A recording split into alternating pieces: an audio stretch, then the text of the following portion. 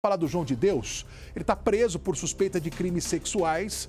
O João de Deus ele voltou a ser internado.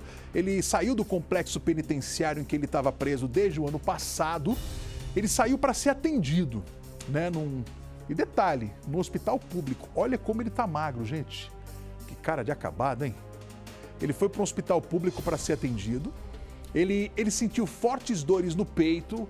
Aí ele fez um pedido lá para as pessoas é, examinarem ele, então ele deixou o complexo penitenciário em, é, sob forte esquema de, de segurança. Olha lá, a escolta que foi usada aí para poder levar o João de Deus até esse hospital. Me traz aqui o Fred Silveira, porque o Fred ele tem os detalhes para explicar para a gente dessa história aí.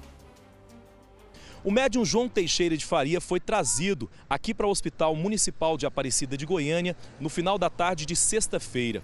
Segundo os advogados, ele teve um princípio de infarto. A decisão de trazê-lo aqui para o hospital partiu tanto da defesa quanto também da administração penitenciária.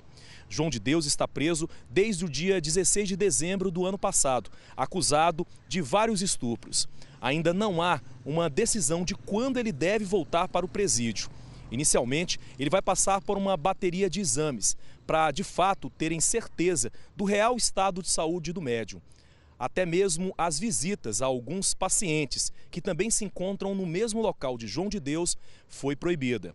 Apenas os advogados do médium estiveram aqui no hospital. O hospital disse que João de Deus está isolado dos outros pacientes, isso para preservar a imagem dele. Mateus